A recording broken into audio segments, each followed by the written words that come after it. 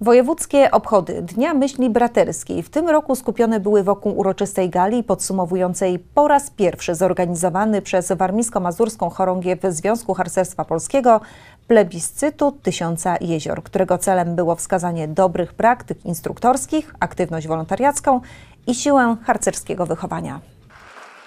To była pierwsza edycja plebiscytu instruktorskiego Tysiąca Jezior Chorągwi Warmińsko-Mazurskiej Związku Harcerstwa Polskiego i już na samym początku tej historii bardzo dobrze wystartowali w niej harcerze z Bartoszyckiego Chówca, których kapituła plebiscytu zakwalifikowała do sześciu finałowych kategorii.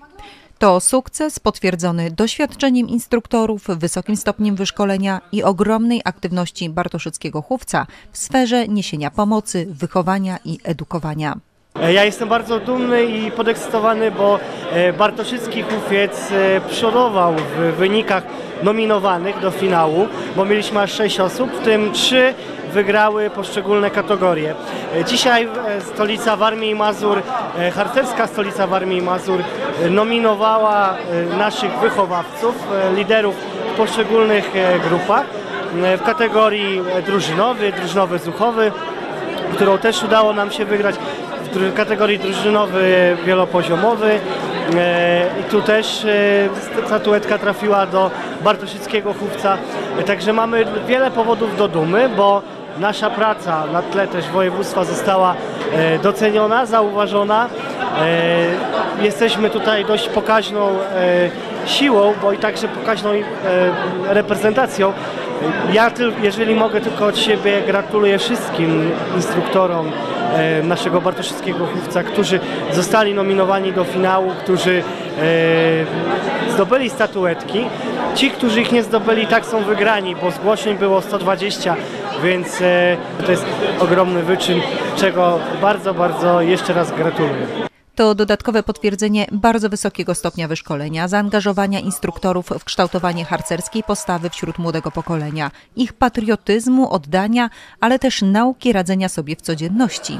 Gdyby nie ta aktywność, Bartoszycki Hufiec ZHP nie byłby tak silną reprezentacją podczas gali, a to, co udało się wypracować przez lata, zostało dostrzeżone przez kapitułę plebiscytu, która miała nad czym się pochylić, nad wspomnianymi ponad 120 nominacjami. Ostatecznie sześciu nominowanych z Bartoszyckiego Chówca instruktorów miało tę przyjemność stanąć wśród wyróżnionych harcerzy.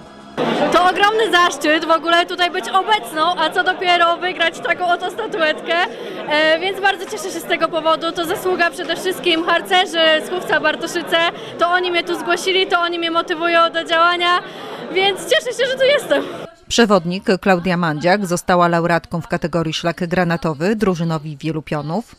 W kategorii szlak granatowy drużynowi gromad zuchowych tytuł laureata odebrała druhna Amelia Koziatek, a w kategorii szlak granatowy drużynowi drużyn nieprzetartego szlaku laureatką została przewodnik Jolanta Bajnochoba.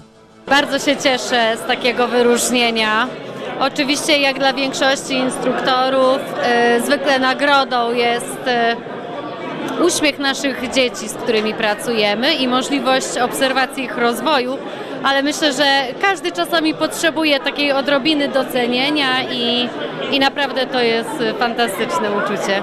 które będzie towarzyszyło przez najbliższy czas, angażujący w działalność Bartoszyckiego Chówca wyróżnionych w plebiscycie laureatów, ale również finalistów. W tym gronie znaleźli się druhna Kasia Zwierowicz, podharcmistrz Justyna Wołoch i harcmistrz Paweł Wołoch. Każdego z wyróżnionych łączy aktywność i ogromna chęć działania, by stale rozwijać Bartoszycki Chówiec, by dzielić się doświadczeniem i współpracować dla dobra ogółu, a przy tym sięgać po takie indywidualne sukcesy motywujące do dalszej pracy.